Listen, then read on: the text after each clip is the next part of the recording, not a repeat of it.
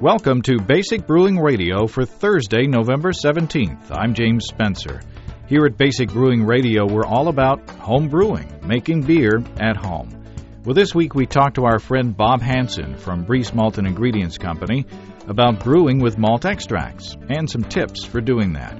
Also, we talked to Chris Colby, editor of Brew Your Own magazine, about his picks for the 10 hardest beers to brew at home. We've got a lot on tap today, so let's take a quick sprint through the mailbag. I think we uh, mentioned last week that uh, we're getting more mail now that I can uh, practically read on the show every week, but I do answer every message that I get, and I do appreciate every message that I get. So if you have a question or a comment, please send it to james at basicbrewing.com or use the contact form on basicbrewing.com and say it with me. Please don't forget to tell us where you're from. Okay. If you uh, remember last week, Eric from Greenville, South Carolina wrote in to say he brewed a medieval style beer without hops known as a gruit, and it came out sour, very sour. One of the questions he had about fixing his uh, overly sour beer was whether he could boil pumpkin pie filling and add it to his uh, beer to mellow it out. Well, Evan from Knoxville, Tennessee weighed in saying he'd recommend using raw pumpkin pie pumpkin instead of the canned stuff. Evan brews with pumpkin by cutting it into large chunks, discarding the seeds and other innards, and uh, including it in his uh, boil. He says it imparts just the right flavor, and it was pretty easy to remove from the wort and didn't add a lot of excess trub. Well, Andrew wrote in and said uh, he's an Australian living in Edinburgh, Scotland. Andrew had his first go at brewing recently, a brown ale using pale malt extract and chocolate specialty malt. But he said he was uh, shooting for a specific gravity of 1.040 or 1040 to uh, 1044 and only got a 1034. He asked, Is there a way to fix this by throwing in more extract or sugar? Well, you can increase the gravity of a beer once it's in the fermenter by boiling more extract in a small volume of water for 10 or 15 minutes to sterilize it, and then cool it to pitching temperature uh, before adding it to your wort. However, I asked Andrew to take another hydrometer reading and to take the temperature of the wort in the hydrometer. Uh, temperature affects your hydrometer reading because hydrometers are calibrated to be accurate at a certain temperature and I believe most are calibrated to 60 degrees Fahrenheit. That's what mine is. If the wort or beer is warmer than that, you'll get a lower gravity reading on the uh, floating scale because the little bobber will uh, sink lower in the liquid. So, after referring to an online gravity correction calculator, which you can find through Google uh, by searching for a gravity correction calculator, Andrew found his wort to be a little higher in gravity, 1.036 or 1036. End of the story, Andrew decided to uh, just take Charlie Papazian's advice to relax and have a homebrew. Of course, since this was Andrew's first batch, he had to fall back on a store bought beer, though. On another note, Andrew said that he wasn't happy with the quality of uh, the hopped extract kits that his local homebrew store sold, and he asked if there was a way to fix these so that they tasted better. Well, my advice was to find a source for good ingredients and start with those. In my opinion, it's better to use only ingredients you're happy with rather than to try to uh, cover it up with something that's substandard. Wayne from Lansdale, Pennsylvania had another good suggestion. He uh, asked about using a turkey fryer for brewing beer outside and wondered if there were concerns about contamination by brewing outside and whether the high heat of the propane burner would be detrimental to the brew. Well, first of all, I brew outside all the time now with a brew pot on a propane burner, and I love it. You don't have to worry about contamination during the boil because the heat of the wort will instantly kill any wild yeast or bacteria that happen to fall in there. You might want to watch out for any leaves or you know other stuff that might fall in there, bugs, whatever. Uh, but you know, I also love the speed at which I'm able to come up to boil and uh, to the other temperatures that I'm trying to hit for strike water and so forth in all grain brewing. However, with the higher power of the propane burner, you want to make sure you stir your extracts into the water very well, especially liquid extracts, so that they uh, don't sink to the bottom and get scorched by the high heat. So make sure they're dissolved well in there in the water when you're adding them. And you don't need a very violent boil to brew. So you want to watch your heat to get a vigorous boil, but not one that's over the top, so to speak. My concern with the turkey fryer is not with brewing outside, it's with the design of the pot and the burner. Now, some of the turkey fryers are very tall and skinny, and they could tip easily. So you want to pick one that appears stable to you. You know, it just gives me chills to think of seven gallons of boiling wort tipping over and scalding a youngster or any of you guys, you know, for that matter. So be very careful. And my my propane burner was designed to go under a converted keg, so it's it's very stable and relatively low to the ground. But still, you know, I've backed into it and gotten a nice little burn on my calf before, so so you you still have to be careful. By the way, I want to thank Wayne for his winter warmer recipe that he submitted to our recipe database on basicbrewing.com. You have to check that out. It looks delicious. And if you have extract recipes you want to share, I'd be grateful if you'd submit them to our database at basicbrewing.com. Bill from Virginia Beach wrote in with an equipment tip. Bill says he uses a 24 inch wallpaper pan that he got at Home Depot to sanitize his racking canes and tubing that's a very handy tip. You can just lay them in there and be sure they get all covered at once with the uh, sanitizer. Dan from New Jersey writes in to ask what I think about using maltodextrin to add body to beer. I say if you want to get more body or mouthfeel to your beer, uh, maltodextrin is a good way to do that. In fact, there is a recipe for amber ale on our basicbrewing.com site that uses half a pound of maltodextrin to add body. Uh, by the way, maltodextrin is an unfermentable sugar uh, that uh, the yeast doesn't eat, so it gets to stick around and add character to the beer. I want to thank Andy in Chicago for suggesting that we change the way we name our episodes so that they uh, show up better on iPods, and I'm instituting that change this week. And finally, I want to welcome a new beer podcast to the world. Pacific Brew News Radio is dedicated to brewers and beers from the West Coast. You can join Rick and Mark each week for beer news and reviews from that part of the country by going to pacificbrewnews.com. And they uh, also have a good section on their site dedicated to homebrewing where they have listings of homebrew clubs, shops, and events in that part of the country. So check them out, pacificbrewnews.com. Well, now on to our first interview. Chris Colby is the editor of Brew Your Own magazine, and in the December issue, which is out now, Chris compiles a list of 10 of the hardest beers to brew at home. We talked to Chris about the article. It's basically a recipe collection. We've got a recipe for each and then a short discussion, um, you know, to try to help a brewer understand, like, you know, what are the bumps in the road they're going to encounter and, you know, hopefully uh, give them some tips to overcome them. Well, let's get started, uh, shall we? The first on the list is uh, wit beer. Yeah, uh, wit beers Wit means white, and these are you know very pale beers. Uh, they've got a lot of turbidity. You know they're cloudy. They're spiced, and you know they're typically brewed with a Belgian yeast that gives a, you know a nice sort of zingy character to it.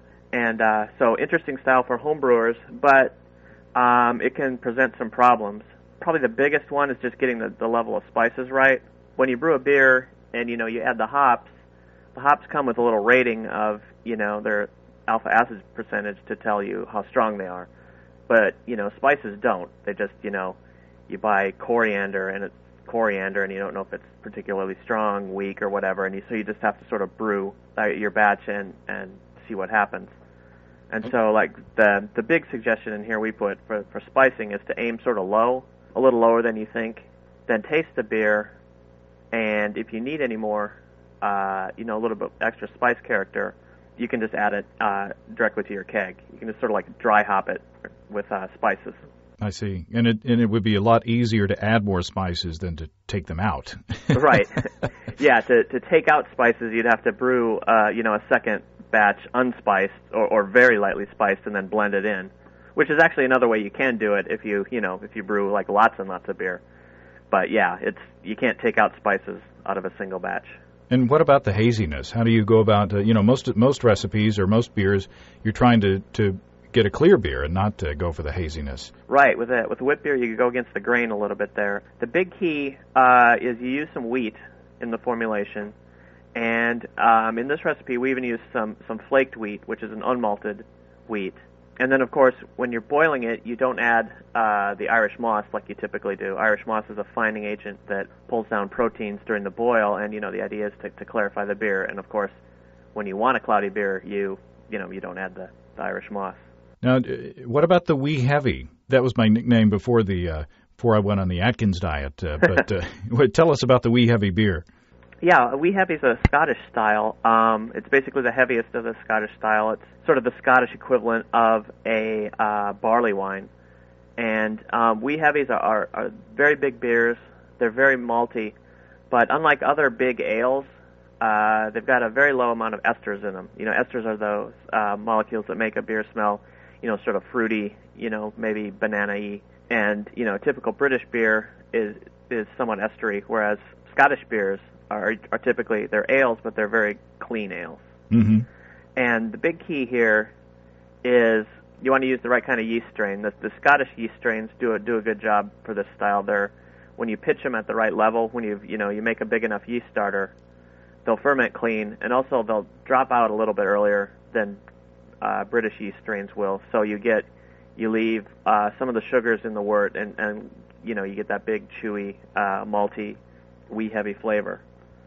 So you know the basic key here is uh, using the right yeast and, and pitching a lot of it. You know we recommend for uh, the five gallon batch that you make basically a four quart or four liter yeast starter, and that's you know four quarts is a gallon. Wow. So you want to you want to raise a lot of yeast to pitch to this. That yeah, is- you also want to keep the fermentation temperature uh, lower than most ales, around uh, 60 degrees. So it's so it's almost lagering the uh, the ale. Yeah, it's just about that. Number three on your list is a triple. Triple, yeah, Belgian triples, great, great beers. When you when you pour a Belgian triple out, you know it's incredibly light colored. Usually has a has a, a really big head, and you know if you didn't know what it was, you might be expecting a fairly, uh, you know, light beer. And whereas the flavor of a triple's light, the it's actually very strong. You know, a lot of times it's around nine percent alcohol, and so the big, you know, the big challenge in making a good triple is to combine, you know, a very potent beer, but make make it light in color. The two basic keys for that are, are of course, you want to keep your your grain bill, you know, only use very light malts. In our recipe, we use uh, a combination of Pilsen malt, uh, which is very light, and a tiny little bit of Vienna, which is just a hair darker, but not, you know, it's not the dark like a crystal malt or anything. And then we also use a pretty healthy dose of uh, Belgian clear candi sugar Hmm. and all that does is up the alcohol content without adding uh, any color at all or any body for that matter to the beer Now, are there any challenges in the fermentation? Anything that you've got to look out for when you do add uh, that much sugar? You'll want to add and, and we've got this in the recipe you want to add a little bit of yeast nutrients. You know whereas wine yeast do a very good job in a mix of a lot of simple sugars beer when you start getting just a lot of simple sugars and not more of the complex sugars like maltose and maltotriose tends to do less well. So you want to give it a little bit of uh, yeast nutrients. And also, as with any big beer, uh, you want you want to keep your pitch rate up here. For this one, we recommended a three quart starter of uh, Belgian Trappist yeast, and that's a good you know yeast that will do well in a high alcohol environment. But you know you need to you need to pitch enough of it so that it has you know enough enough yeast there to do the job. Number four, you've got uh, Schwarzbier. Yeah, Schwarzbier, a really good style. Now, now, you describe a Schwarzbier is something that looks like one thing but is another. What do you mean by that? Right, a Schwarzbier, you pour it out and, it, and it's a dark amber beer, almost not quite black. Um, the Schwarz in German means black, but you know it's a dark-looking beer, and so you would expect it to be, you know, have some roasty, uh, you know, caramel flavors and be sort of a, you know, taste like a dark beer. But when you try it, it tastes almost like a pilsner. There's you, there's a little bit, there's a little hint of a dark grain sort of flavor to it, but it's very very light. If you were blindfolded, you know, you'd probably think it was, you know, a pilsner or or maybe a Vienna, Vienna lager or something. And so the uh, the challenge with brewing a Schwarzbier is you want to make a dark beer, but you don't want to have any of that roast gr- grain flavor. You don't want to have any roastiness, any bitterness from the grains or whatever. And how we do it is how actually uh, a lot of the commercial breweries in Germany do it. and that's by using a, a malt color extract. The one we recommend here is called uh, Sinamar, and what it is essentially, it's, it's just a super super dark beer. It's about like a hundred times darker than stout. Wow. And yeah, it's uh, it's in- incredible. I mean, they really concentrate it down. It's fermented too, so it's actually a beer, not not a malt extract. Uh, and you add just a tiny amount of it to your beer, and that darkens the color, but doesn't add very much flavor. It's because they they make the the extract from uh, debittered uh, dark grains. And uh, number five is something that may may taste like a dark beer. It's a it's a Rauch beer. Yeah, Rauch beer. Um, uh, basically, uh, in German, Rauch means uh, smoke, and it's a, a beer that's made with grains or, or with malt that has been smoked, and you end up with a beer with an actual smoky character to it. The big challenge with brewing a Rauch beer is that the chemicals in smoke that make the smoky flavor are uh, belong to a class of chemicals called phenols. If you have any chlorine at all in your water, the chlorine will react with that and make uh, these funny, like band-aidy kind of taste. So when you when you brew a Rauch beer, what you need to do is make sure that your water is completely uh, free of chlorine. Um, the usual way brewers do this is to carbon filter their water, and that's usually enough to remove, you know, most of the, the, the chlorine from your water. For Rauch beers, though, you should really go the extra mile and, um, you know, make up your brewing liquor the night before. You know, put all your water in uh, in your kettle or in your mash tun or, or somewhere, and just add a Campden tablet to it. Uh, those are the uh, little tablets that winemakers use to sanitize their must. You know, add a Campden tablet to it. Uh, let it sit for uh, 24 hours, and you know you'd probably want to lightly cover the top just so stuff's not falling in your water. And uh, that the Campden tablet will the, the chemicals in there, the uh, metabisulfite, will react with the any remaining chlorine in your water, take that out, and then uh, it will just evaporate out of the water overnight. Now, number six is a blended lambic, and you pronounce it Huza Huza, yeah, because it looks nothing like Huza. yeah. No, it's spelled G U E U uh, Z E, but it's or one of the the pronunciations of it is uh, Huza. Basically, a, a Huza is a very very sour beer. How it's made is they uh, they make a, a wheat beer and they cool it overnight in these big shallow trays called cool ships. And in the brewery, uh, they never clean the room where the the cool ship is in. Hmm. So there are, are the local sort of microorganisms are just running rampant in there, and some of them, you know, settle into the uh, uh, wort and contaminate it. And then the next day they pump it over to barrels, which the barrels have also been used for these fermentations before, so they're heavily contaminated with uh, all the sort of microorganisms that go into this beer. And basically, there's early on there's a alcoholic fermentation with where brewer's yeast basically ferments most of the beer. But then in the later stages, wild yeasts, particularly uh, Brettanomyces and uh, lactic acid bacteria, particularly uh, Lactobacillus and Pediococcus, take over and they turn the beer from a wheat beer into a very, very sour beer. And the neat thing about uh, Huzas are that they're they're a blend of different beers. They take beers that are three years old, uh, two years old, and beers that have, have just been brewed that year, and blend them all together into this this blended sort of champagne-like. I mean, they're usually heavily carbonated. You know, they're just intensely sour. This is this is another style that's uh, sort of an acquired taste. You know, either either you you know you taste it and you really like it, or you know you hate it. But obviously, the the trick to brewing here is not there, there's nothing difficult about it. It's just that you need to plan ahead and brew, you know, uh, five gallons of this uh, once a year for three years in a row, and then blend it together. So it's an investment of, of time more than anything. Right. You. Uh, I mean, I've got. Uh, actually, there's an old uh, bathroom on the side of our house that nobody uses, and I've just got it set up as a fermentation chamber right now. There's just buckets of homebrew in there, uh, sitting, rotting essentially, uh, for waiting for the day that I, that I blend the uh, blend the beer together. Number seven is uh, Eisbock. Eisbock, yeah, another German style. And an Eisbock, you, you start with a Doppelbock, which is like a Doppel is double in German. So it's a high gravity Bock beer. Making a high gravity lager is a challenge on its own. You know, um, you've got to since it's a big beer, you, you have to pitch more yeast than you do with an average strength beer. And since it's a lager, you have to pitch more yeast anyway because lagers need to have a require more yeast than ales anyway. So you start off with a beer where you, you know you need to start out and ferment, you know, with a lot a lot of yeast. And on top of that, the second the second part of it, the ice part, is once the beer is ready, you freeze it and you remove the water from it, and that concentrates the beer. So you take it from it starts out at about seven percent alcohol beer, and you remove about a gallon and a half of water out of uh, as ice out of the uh, five gallon batch, and so you end up with about three and a half gallons of ten percent alcohol beer. And you write that uh, you freeze in a beer bucket rather than a glass carboy or, or a keg. And yeah, you don't want to freeze in in glass because you know it can it can crack and that that can cause a lot of problems.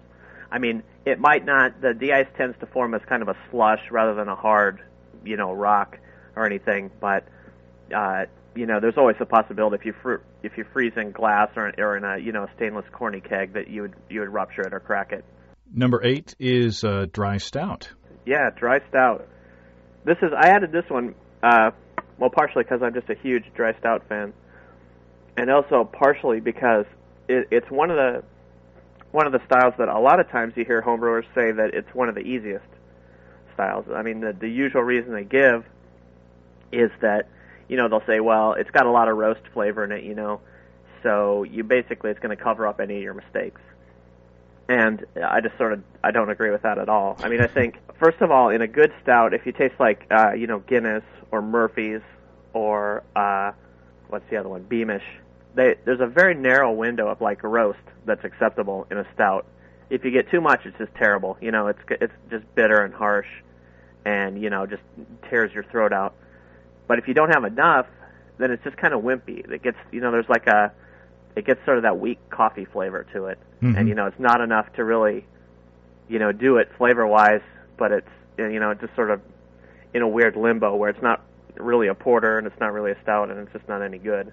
The, the other difficulty is, as as the name implies, a dry stout should be very dry. I mean, a lot of people, uh, you know, if you ask them to describe Guinness, they'll say, you know, it's like a big, full, rich beer, and when you taste it, it's not. I mean, it's very, very flavorful from the roast but it's a dry beer. I mean, mm-hmm. if you taste it, there's there's not a lot of body to it. And uh, you know, one of the problems that homebrewers have, uh, you know, or at least one of the most common problems that homebrewers have is getting their beers to attenuate properly. You know, if you read the online uh, forums, people are always saying, you know, oh my my beer quit early. What do I do? You know, so you definitely need to make a very fermentable wort for your uh, dry stout, and you need to, you know, pitch enough yeast that you uh, can get it to ferment out. Number nine is uh, Berliner Weiss. Yeah, Berliner Weiss. Uh, this is another sour beer. I, I put two sour beers on the list because I really like sour beers. Berliner Weiss was a beer that uh, Napoleon called uh, the champagne of the North. And what it is, it's a light wheat beer, but it's very, very sour. Maybe not quite as sour as a lambic, but you know, it's noticeably sour. A lot of times it's served with a with a sugar syrup with it. There's raspberry syrup is sometimes added, hmm. or there's a green syrup called a Woodruff syrup that's added. The, the traditional glass for it is this big goblet, and if you see people drinking it, you know they've either got like a red or a green beer in their hand. Huh. It's fairly difficult to brew because it's a it's a low gravity beer, and so basically, in order for it to keep well, you need to sour it quickly. You know, with a uh, with a lambic, you have a little bit more leisurely time schedule to, to sour the beer over because it's going to have enough alcohol to act as a preservative. But in a Berliner Weiss, I mean, the starting gravity on these things is like, you know, around 1.030 specific gravity, so it's very low. You know, it only ends up with about 3% alcohol in it. So what you need to do is you need to make an actual, uh, you know, starter for your bacteria. Hmm. And the bacteria you use for this is lactobacillus. It's unlike a lambic that's soured with just you know a variety of microorganisms, including both yeast and bacteria, uh, Berliner Weiss is soured with one single strain of bacteria, and that's a, a lactobacillus strain.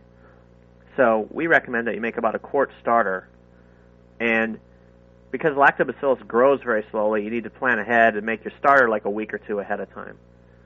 And for best results, you don't want to you don't want to aerate the lactobacillus starter because it's an anaerobic bacteria. It doesn't. Oh. Uh, I mean, aerobic conditions don't kill it off, but the the yeast don't grow well, or the sorry, the bacteria don't grow well under those conditions. So you don't want to aerate the the bacterial starter, and you want to keep it somewhere fairly warm, between 70 and 80, if not higher.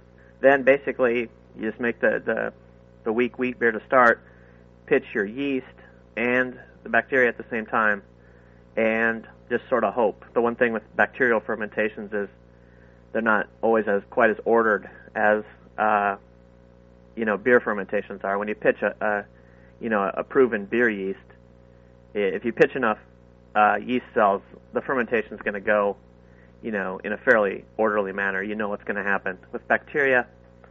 Sometimes sometimes things turn out well, sometimes not so well. And then number uh, number ten is is uh, one that uh, comes with a question, and it's American Pilsner. And the question that a lot of pe- people may be asking is why? Why would you? why would you brew an American Why would you Pilsner? brew an American Pilsner? Yeah, well, that's yeah, that's a good question. Why? You know, we'll leave to to the individual home brewer if if he wants to brew it or not. I mean, certainly you can go to any store in America and buy American Pilsners for really cheap, but as a you know as a brewing challenge, American Pilsner is basically the challenge in it is that it's virtually flavorless, but it's also it's also completely flawless. hmm I mean, if you taste like you know Budweiser or Miller or Coors, you know, I mean, if if you can taste them, uh, you know, they're clean. There's no, you know, there's no odd off aromas. There's no weird flavors poking at you. They're just, you know, they're almost like a blank slate. You know, at least until you try Michelob Ultra, and then suddenly an American Pilsner tastes like it's, you know, wonderfully flavorful. but uh, yeah, so you know the the big key to brewing an American Pilsner is you just have to be, you know, on your game in in all respects. You know, you have to clean well, you have to uh, you know ferment well, and just you know use fresh ingredients. Basically, you know, every, everything you need to do for other styles, but just more so. And and then hire a giant marketing team. Yeah, yeah. Get some get some uh, one of those Clydesdales? Yeah, get some Clydesdales and maybe a talking dog or something. Well, there you go. The the ten uh, most difficult. What is it? The ten most difficult uh, beers to brew. Yeah, yeah. We call I think we call it ten hardest styles. Well, very good, Chris Colby, uh, editor of Brew Your Own. I I sure appreciate your time and advice. Well, thanks for uh, thanks for interviewing me. It was fun. You can read Chris's article along with recipes for each one of those beers we talked about in the December issue of Brew Your Own. And if you click on the BYO banner on basicbrewingradio.com, you can get the issue for free. And if you decide to subscribe after reading that free issue, you'll be helping to support this podcast. And speaking of supporting this podcast, I want to thank those of you who have ordered your Basic Brewing Radio t shirt. They're good shirts, they're cheap, and they'll help spread the word about uh, BBR. You can see them at uh, basicbrewingradio.com, and uh, I'm hoping we'll get pictures of you wearing your BBR shirt so that we can build a little gallery of our friends out there on the site. Well, now I've uh, gotten quite a bit of positive feedback from our earlier shows featuring our friend Bob Hansen with Briess Malt and Ingredients Company. Before, Bob talked about the uh, malting process and how malt extract is made. Well, now Bob joins us to give us some tips on getting the most out of an extract brew. I started as a home brewer, uh, of course, brewing with uh, malt extract uh, because it was easy and convenient, and got bit by the brewing bug, and uh, got a job at a brew pub as a brewer. And that brew pub uh, was a it was a ten barrel system, and it was uh, set up to be a malt extract brewery. So it did not have a lauter tun uh, per se. Um, after becoming uh, the brewmaster there and uh, formulating all the uh, beers, uh, I got extensive experience making all different beer styles with malt extract and got a real understanding of the uh, advantages and also limitations of brewing with it. Um, this was during the uh, uh, late 80s, early 90s, when um, you know in the beginning of that time, craft brew beer wasn't probably held to the same quality parameters it is now. It was mostly different colors of the same beer. Uh, but uh, through that period, of course, you know, everyone demanded hoppier pale ales and authentic Weiss beers, and I was uh, fortunate enough to be able to uh, uh, spend my time uh, brewing all those different styles with malt extract. Uh, after working there for a while, the restaurant was very successful. We expanded and introduced an all grain brewery, a 15 barrel brewery, and we had to make the beer taste the same between both breweries, even though one was set up for all grain, one was set up with extract. And then we expanded further um, and took the recipes that we originally made with malt extract to a 150 barrel contract brewery and brewed those all grain there. Um, so I got to see uh, many different formulations made uh, side by side with extract and uh, all grain. And then uh, in about 2001, I came to Briess uh, Industries here, where I commissioned their 500 barrel uh, brew house, which is the front end of their uh, malt extract producing uh, line. And we make brewing grade malt extracts here with a, a fully automated uh, Dream system, a 500 barrel uh, multi vessel system. So I've seen uh, everything from the production end of the malt extract all the way through to brewing at commercial scale and home brewing. So you mentioned the word limitations. What what are the limitations with uh, working with malt extract? Well, I would say genuinely uh, there's two uh, real limitations. Um, the one that I think most homebrewers run up against is um, the fact that the liquid malt extracts age. And uh, so getting fresh and good quality ingredient uh, is, a, is a challenge. And we can talk about that a little bit more later. The other challenge, I think, is that um, the malt extract uh, is already set in how it's made, in that, especially if you're buying a pre hopped malt extract, um, the brewmaster who formulated that, and a lot of these are you know formulated by brewmasters, he set the hopping level, or at least the level of hopping to gravity is fixed in that wort, and he also set the specialty malts that are used, uh, or regular malts, so that, for example, if you wanted to brew a porter and you um, you didn't like having roasted barley in your porter, and you just purchased an off-the-shelf extract, if the brewmaster who formulated that had roasted barley in it, you'd already have it in your formulation. So I think genuinely uh, the only true uh, disadvantage or uh, uh, difficulty in working with extract is that the wort has basically been manufactured by somebody else. So they've chosen the ingredients. But uh, that's also one of the benefits of malt extract, of course, is that you don't have to deal with the headaches of producing the wort. I was going to say, if you find a malt extract that is formulated uh, to your taste, then that's to your benefit. Oh, very much so. And uh, I can honestly say, uh, you know, having brewed on breweries of many different sizes, um, that uh, if I were in a small brewery, there are certain beer styles, um, given the experience I have with a variety of extracts, that I would produce with extract, just because I can make exactly the quality of beer I want, uh, which with much much less work and uh, uh, inherent cost as well. I would assume that those would be uh, more robust styles. That's that's actually not the case. Um, the ones that I've found were, were the easiest are um, things like a, a just a straight Hefeweizen, hmm. like a German Hefeweizen, can be made uh, very well just by using straight um, wheat malt extract uh, from a variety of manufacturers and uh, some hops and the you know correct choice of yeast, often uh, something from White Labs or Wyeast, like the Weihenstephan strain. And with a very simple, elegant, or simple recipe, you can make a, a fantastic uh, Weiss beer, and you avoid having to deal with wheat malt in your lauter tun. And which which can be a problem uh, for those who haven't uh, done an all grain batch. The wheat tends to get a bit sticky and if it, if you've got a malt extract and the uh, uh, the extract brewer has already uh, or extract producer has already dealt with the the sparging and lautering prog- problems, then you don't have to deal with that yourself. That's that's exactly correct. The wheat malt does not have a hull, and uh, oftentimes it thus does not form a real permeable bed. Uh, that plus its you know high protein level makes it very gummy and hard to separate in lauter tuns. Uh, our lauter tun, of course, is uh, we have a fully automated raking process and differential control, so we've got you know the best uh, brewery design that you can have, and we deal with that difficulty here. And then, you know, as a small brewery, you, you don't have to. Uh, and some of the light styles, um, ones that can be made straight from malt extract, are actually some of the easier ones. I, uh, pale ale can be done very well, oftentimes by just steeping in a little bit of caramel malt with your base malt extract, and then um, let's face it, that beer is mostly about uh, hopping, Mm-hmm. and the malt character I would say is almost secondary.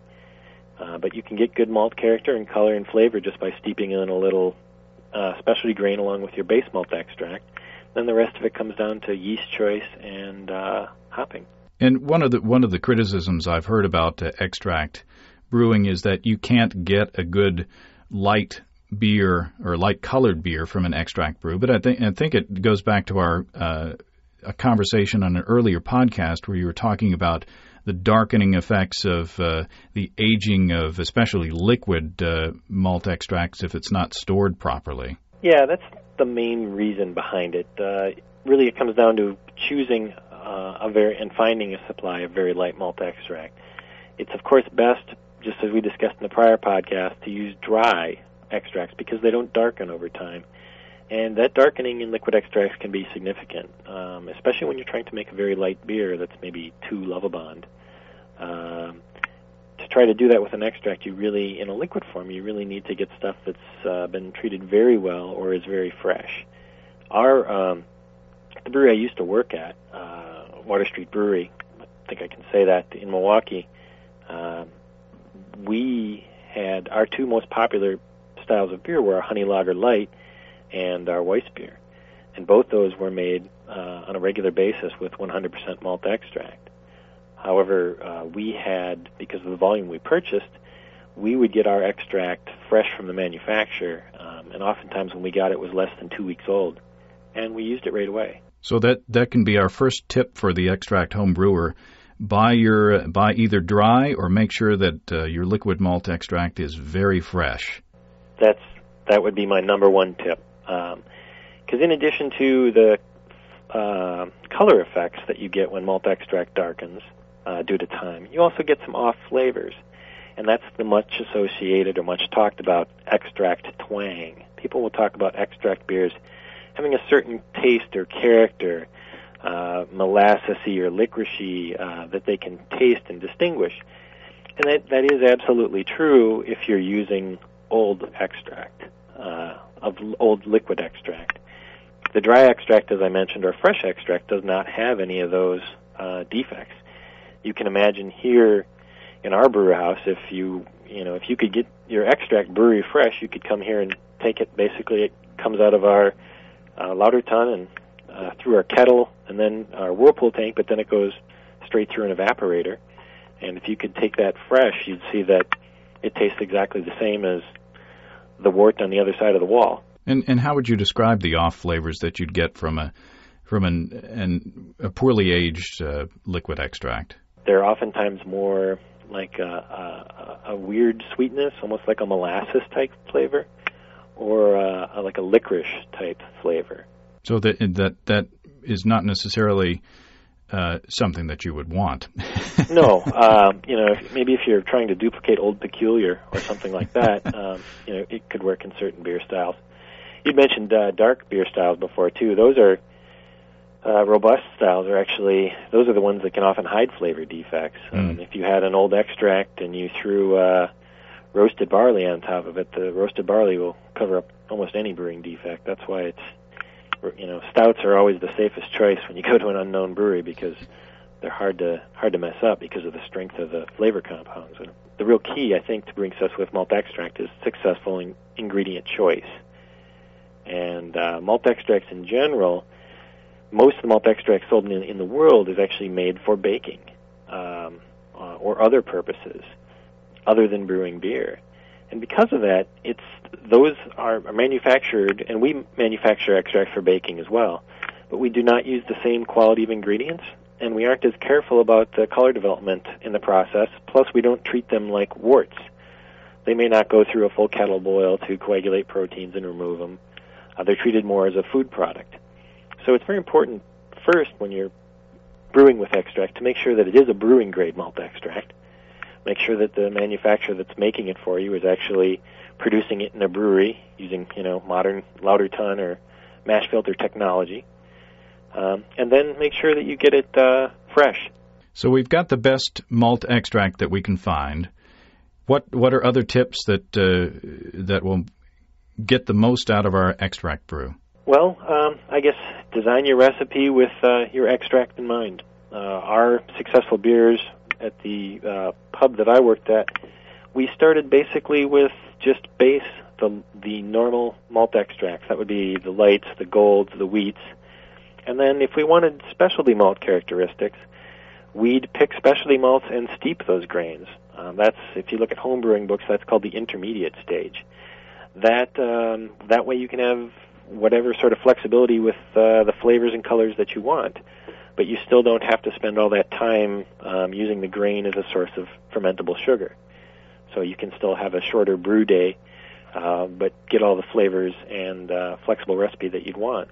So how would what's the best way to steep? Say I've got a grain bag and I've got some some specialty malts in there. Uh, what are your recommendations, you know, for the brew kettle as far as uh, temperature, holding time, and and all that?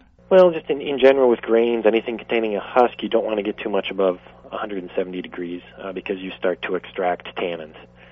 Now, how critical is that? Uh, it's not. It's usually not going to kill you if it's for a short period of time. Um, so, but definitely you want to keep the temperatures probably below 180 if you can. Um, it's important when you're steeping grains too to understand whether the grains are appropriate for steeping. Certain grains are um, basically converted during their production process.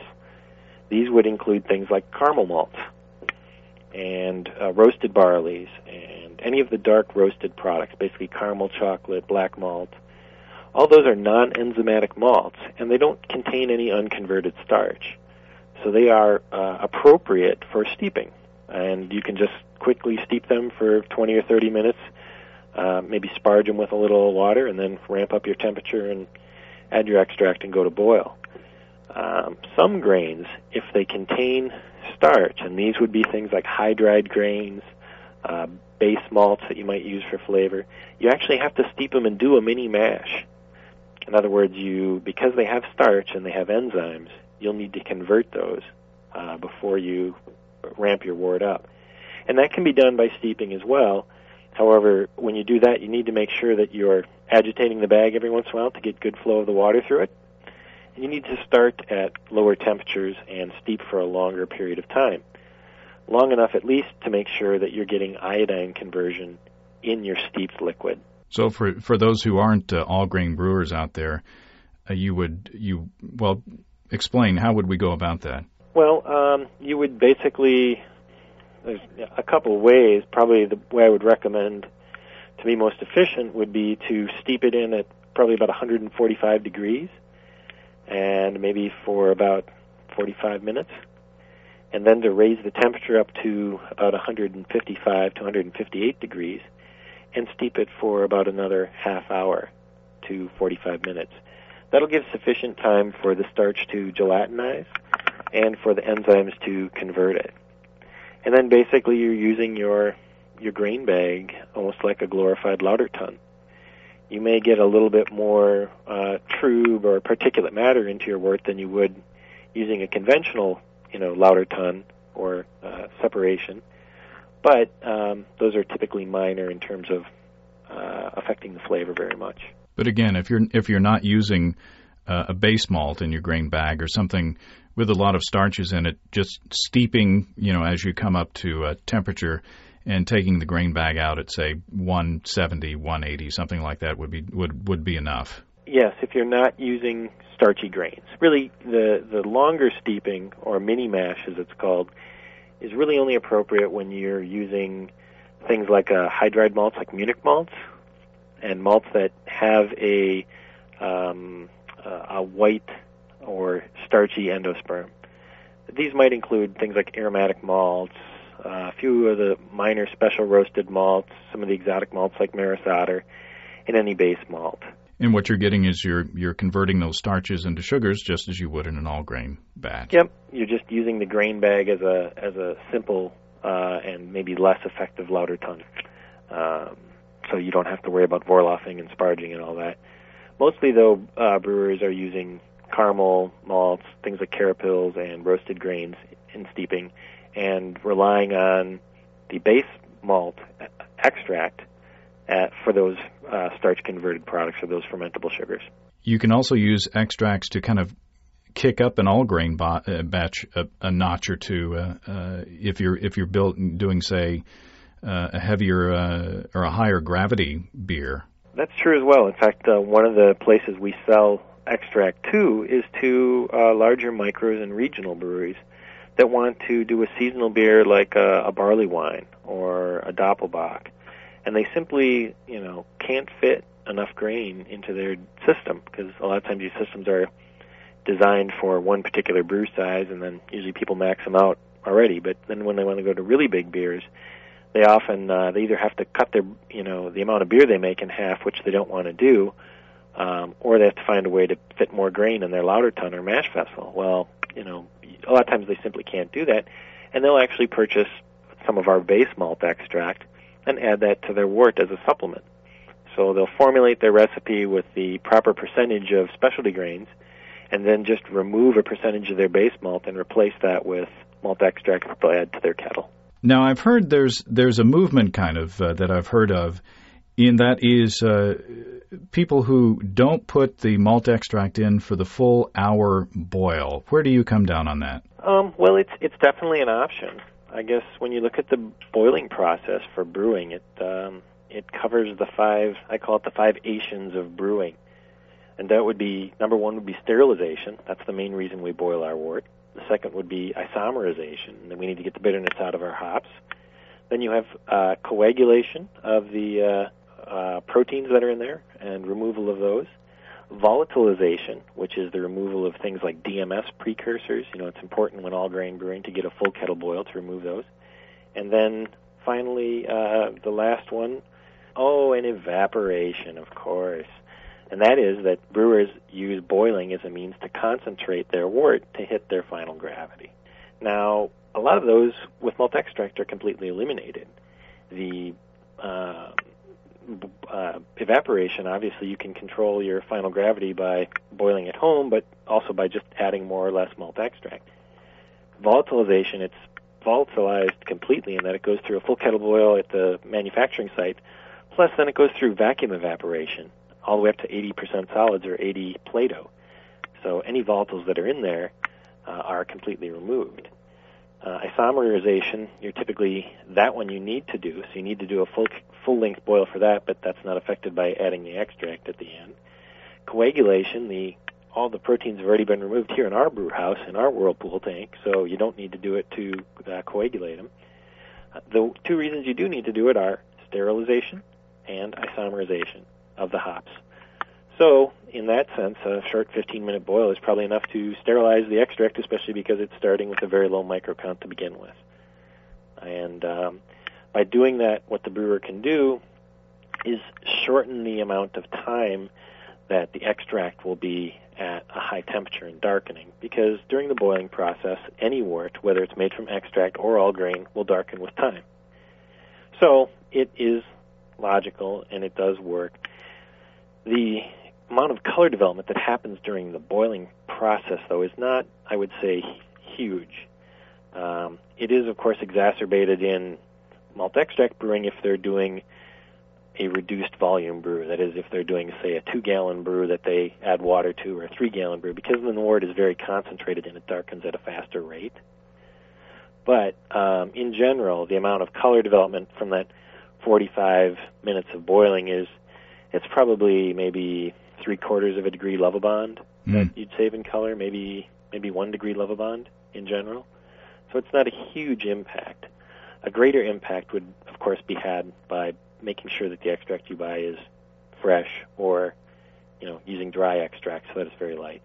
So if you're if you're doing a if you don't have a huge pot and you can't boil the the whole uh, batch of beer at once, you might put more weight on the decision to just add the extract at the last 15 minutes of the boil?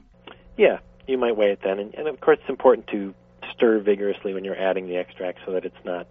Usually, what you do is you take the pot off the heat, so you're not applying direct heat. You add the extract, stir it in. That way, you're not going to scorch it on the bottom because that can happen. Um, and then continue on with your boil. And you, you avoid uh, a lot of the problems that you might have with a boil over by doing it that way as well. Right. It also helps with that because the hops, of course, have given up their oils and are the boil is typically pretty easy by that point. But it's it's a good method. You know, extract. Uh, there's another method out there that says don't boil it at all, and that um, you know you have to. I would say look out for that because the extract itself is not sterile.